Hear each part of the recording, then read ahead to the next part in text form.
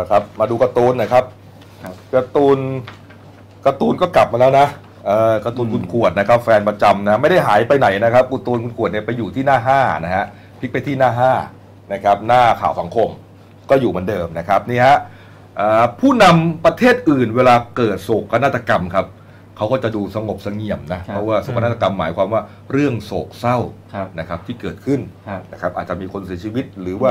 มีความเสียหายต่างๆเนี่ยนะครัฮะบครับยืนกันนิ่งเลยนะครับผู้นำฮาเฮเวลาเกิดโศกนาฏกรรมฮะใครเนี่ยครับมินิฮาร์ดไงใครก็คุณลุงไงคุณลุงคิ้วเข้มไงอ๋อลุงเหรอคุณลุงลังไงอ๋อฮะ